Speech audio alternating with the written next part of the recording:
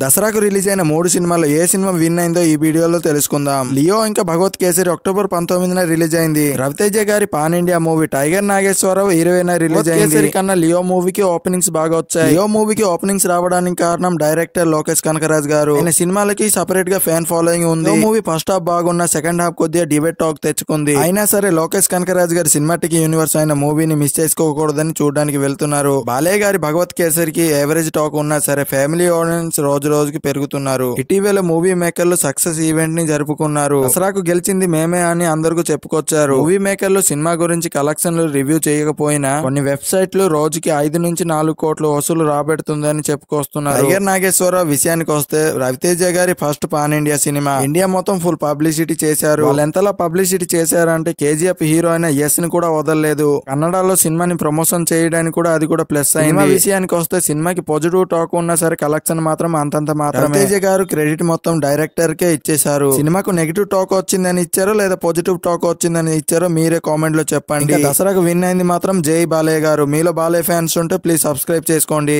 ఈ వీడియోకి ఇంతే ఫ్రెండ్స్. నా ఎక్స్ప్లెనేషన్ నచ్చితే ప్లీజ్ సబ్స్క్రైబ్ చేసుకోండి. నా పేరు పవన్ పూరి. మీరు చూస్తున్న ఫిలిం పాప్కార్న్ తెలుగు.